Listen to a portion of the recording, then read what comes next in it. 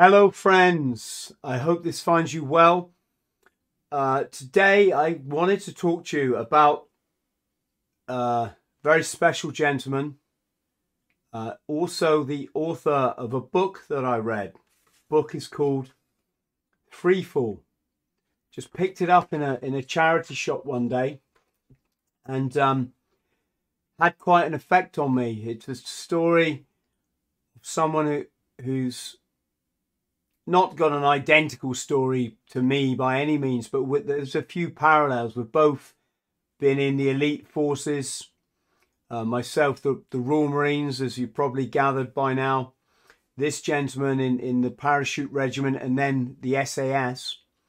We're both skydivers, um, both pilots, and the clincher, we've both experienced severe uh, psychiatric illness, so mental mental health, uh, to a level I should say, kind of above your your sort of routine depression and anxiety and that that sort of stuff. Not not that I'm putting anyone, you know, anyone else's challenges down, but I mean, like pretty pretty serious stuff. Now, it's a story of Charles Niche or Nish Bruce. And I'll tell you how it came about that I, came to be doing this video. I read this book, like I said, it had an effect on me. So I'll read, I'm just going to dive straight in and read the first part of the book. So spoiler alert if you haven't read this this book, but if you probably haven't read it by now, you maybe not going to. 34 years ago, in the time before I went mad, a man looked down from the edge of space. Joe Kittinger, or Kittinger Jr., a US Air Force captain, pulled himself upright, shuffled forwards, and stepped from a balloon gondola 100,000 feet above New Mexico.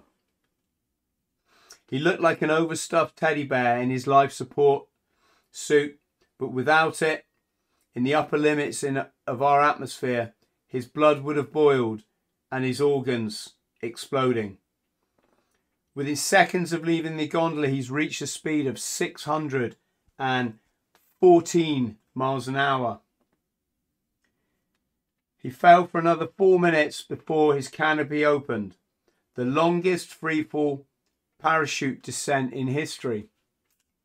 So the author of this book, Tom, the SAS chap, starts off his book. He's going to replicate this feat, uh, reproduce this feat, except he's going to do it from space. So a little bit like uh, the Felix Baumgartner stunt, where he took the balloon up into space and then you know, jumped out. And uh, I'm sure many of you saw it. Many of you saw the video. Obviously, it's on YouTube if you haven't. Now, um, let's just go to a few photos here. What, what, why did I feel a, a, a you know, an infinity with this story? Let's have a look. So there's the book cover. I think this was a, a German version. Fritz Fall, Freefall. Don't think the yeah, I don't think the the English cover has got the the wing dagger on it. And this is uh, Charles or Niche. And uh, that was me. We, we both flew Cessnas, uh, at least at one stage or another. Uh, I've actually got the shirt ripped off my back here. You can't see it. They cut the back out of my shirt. That's what they do in the States when you get your pilot license. They cut your, they cut your shirt. Um, there's me flying over Florida. Niche actually flew, I think it's from the United States back to the UK via Greenland and Iceland, which over that amount of water is pr a pretty brave thing to do. Again, we share passion uh, for skydiving, although I won't pretend I had the 30 thousand jumps that Niche had in his logbook, which is any skydiver will tell you is is a phenomenal, a phenomenal amount. Even highly experienced skydivers can have two two thousand jumps. This this gentleman had thirty thousand. There we go. Skydiving, if you get to do it, folks, just do it. If, if, if it's something you want to do, get go to Florida, do it for cheap. You, you just have to do it. It's great fun. Um, I'm with Mario here. Mario stoned off his box, um, which is something quite a few of the skydivers in in uh, Florida didn't have a problem with doing that. One of the skydivers I jumped with used to take a bottle of tequila, sort of strapped tequila and and lemonade or something, you know, strapped to his one of his um, harness straps is what I'm trying to say with a straw. He used to he used to hop and pop, which meant he'd jump out the top, so twelve to fifteen thousand feet. And rather than skydiving, he'd pull his chute immediately, sink down to earth, getting drunk. I'm going to speed this up a bit now. There's there's a leg, but it is it's just quite something just to even be in this position in in your lifetime. It's it's it's fairly incredible. Um, yeah, it's me looking like something out of a Bond film, like Moonraker, like I'm the bad guy or something. And uh, so yeah, there I am chatting with Robin in one of our podcasts. And I said, Robin, did, did you know this chap, Tom Read? Because he wrote this book, he spoke openly about his mental illness. Um, at the end of the book, you, you've got the impression that, that he's all happy and he's overcome it. And bang, then you hear that he threw himself out of an aircraft while it was flying above England landed on a football pitch. Obviously, threw when I say throw himself out, but I mean without a parachute. It, it's just awful. Couldn't, um, you know, I guess no one's going to know for real what goes on in someone else's head. But was that a case of he couldn't couldn't stand it any longer? The the, the mental anguish. We'll we'll talk more about that. You know, who who's ever going to know? And Robin said Oh, you mean Nish? Or Nish? I said, what, what, what are you on about? He said, Nish, that was his name. He, he wasn't called Tom Read. He's actually called Charles Nish Bruce. And he's got the Queen's Gallantry Medal. So, let's talk a bit about him, shall we? So, Nish served with the parachute regiment, as I said, and then joined the SAS. Uh, there's a picture in the C-130, so in the Hercules. Um, got a, a newspaper article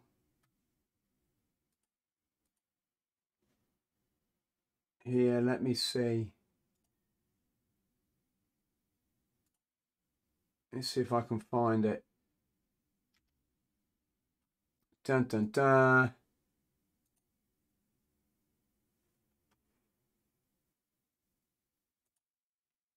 Yeah, excuse the adverts. Fact of life now, aren't they? But how I fought to stop SAS man's suicide leap.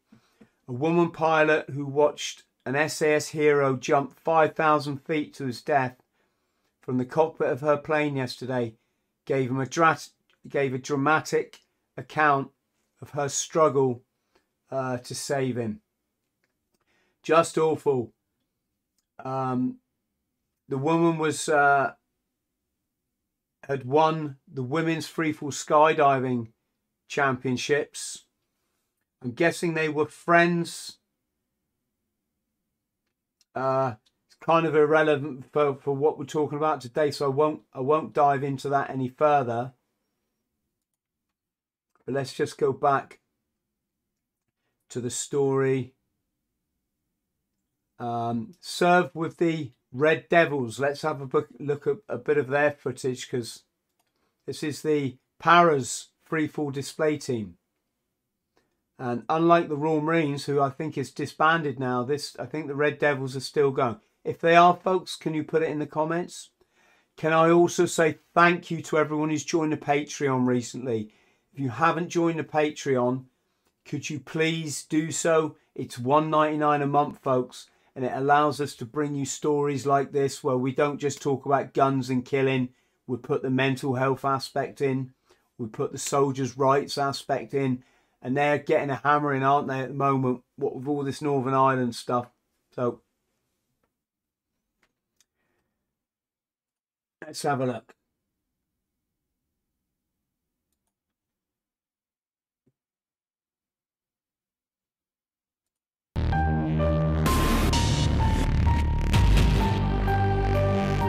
I can't play too much of this because it's not my film, but for commentary purposes, we're allowed to play a bit of it. It's an absolutely spectacular video. It, it must be 4K. But look, there they are embarking. On that looks like the Hercules, doesn't it? If that's not the Hercules, can you put it below? Bit of wingsuit.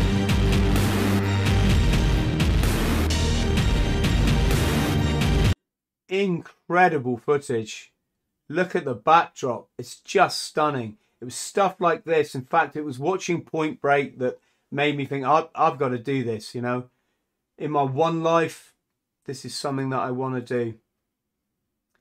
There they are. There's the boys, look. Um, making the love heart, is it? I don't know the name of this formation, but whatever it is, they're, uh, they're doing a good job of it. Their trademark red. Practice in the wind tunnel. Look at that for an image. Isn't it incredible? Just to have that image in your photo collection. You can see why guys do this, can't you? Living life to the full. So, excuse me. So, Yes, 22nd um, SAS. Um, Nish was in 7 Squadron, which is was the same one Andy McNab was it was it B sorry B Squadron 7 Air Troop um there he is there's our man in his red devil's gear looking quite young there but we got the world is your oyster at that age, isn't it? Andy McNab, immediate action. This is they were in the same troop together. I think Andy McNab wrote a book called Seven Troop. And he speaks very highly of, of Niche, Andy McNab, uh, as one of his heroes.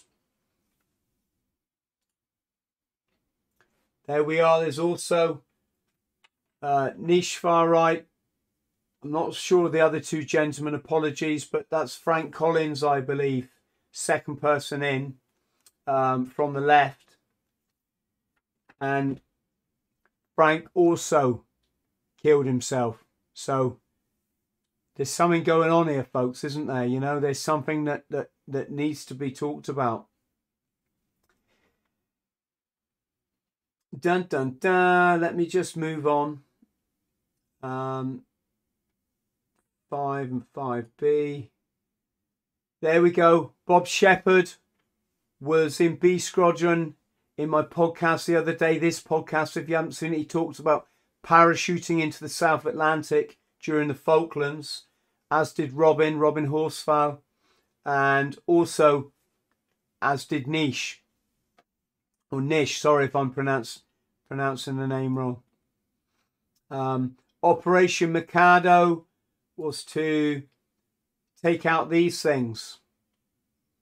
The are they called Super Étendard uh, uh, uh, jets?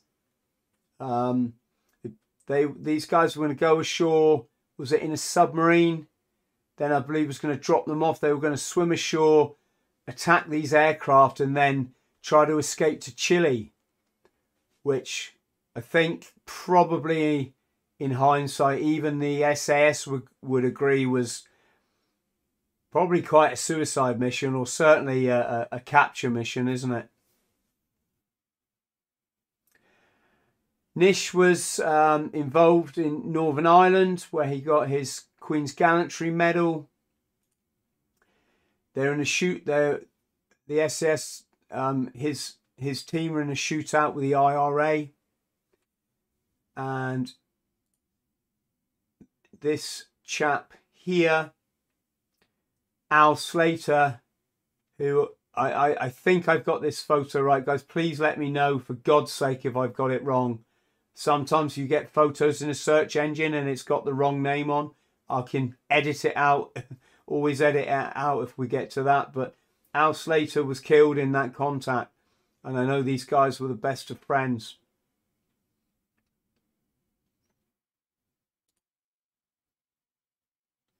There's Nish in, later life. Uh, he went on to bodyguard for Jim Davidson to protect wildlife with um, David Stirling, so the founder of the SAS. He went down there to uh, Kenya to protect the wildlife against poachers. I'm guessing he he he did body bodyguard work. Probably really boring compared to what he what what the life you're used to in the regiment. And of course, he started the skydive project, which he wanted to be the first man to skydive from space. And then, of course, his breakdown set in, and all this didn't come around. It, it incredibly sad. And it just came around kind of all of a sudden, and there was no real understanding of what caused it because it, sometimes in these cases there isn't a lot of there was a lot of talk of yeah, well this is what servicemen go through when they see stuff in war, blah blah blah. And yeah, all these stuff are factors, but there's obviously a big difference between uh, being traumatized, having um, depression, anxiety, chronic anxiety, and feeling like you want to end it all. These these are all very serious, but to be where I was and where um, Nish was is to be severely psychotically ill or psychiatrically unwell. It's it's kind of another thing again. I mean, it could be triggered by something as simple as something in your diet, or a combination of that and alcohol, and say perhaps stress. These are these are all these un, unknowns. While living in Chamonix one day, he suffered a nervous breakdown and attempted to murder his girlfriend with a pair of scissors, and somebody fortunately pulled him off. Um, eight years this this these episodes went on for, which just must have been awful for anybody. But imagine someone so active, and imagine what you're going to lose. You're going to lose your pilot license you're going to use, lose your ability to skydive, all, all this kind of stuff.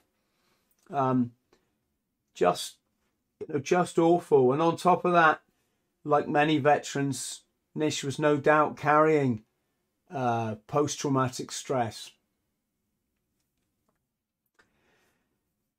Um, his ashes were scattered in a, in a memorial skydive by his son and his former colleagues, which is quite touching. There's a funny page I found a, a write up, I think it was by Nish himself on the internet, talking about skydiving, talking about how they upset the Arabs, I believe it was, or certainly some characters in the Muslim world, because the pilot was a Muslim who took these boys up and of course, gas expands at altitude. And as these guys were letting, letting rip with farts, of course, it was stinking the plane out. And the pilot, the Muslim pilot, actually brought the plane down and, and, and refused to take them anymore.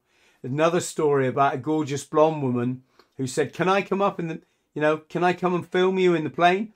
And they said, Yeah, but we're going bollocky buff you know, we're going stark bollock naked. So if you want to come up, got to get your kit off, love. And she went, okay. Apparently she was gorgeous. And then at the last minute, the pilot of the plane goes, fellas, we're overloaded. Someone's got to get out. So of course, the skydivers aren't getting out because this is what they love. So it was goodbye, dear. There's also a touching, um, a touching page in the book where his brothers from the regiment come and visit him in hospital. And you get this um, you get this thing with servicemen. They're quite they're quite direct and quite straight. And they take things like that on the chin. They don't pussy around with their words like uh, sort of possibly many of our civilian counterparts would. And I mean no offense, but you know. Um, uh, and these guys rock up at the hospital and they're like, Oi, wanker. Which is sometimes what you need when, you know, you need a friendly face. And that's about it, folks. Um, I was going to finish by reading you the last paragraph in a book because it's quite touching. But do you know what? In honour to to Nish, rest in peace. I'll let you buy the book and I thoroughly recommend it. Thank you for watching. Hello friend, I hope this finds you well. My name's Chris Thrall. I'm a former Royal Marines Commando and I fought my way back from chronic trauma and addiction to live, work and travel in 80 countries across all seven continents, achieving all of my dreams and goals along the way. Now pass my simple system on to other people, but I can only help you if you like and subscribe. So please do so because you get one life and if you live it right, one is enough.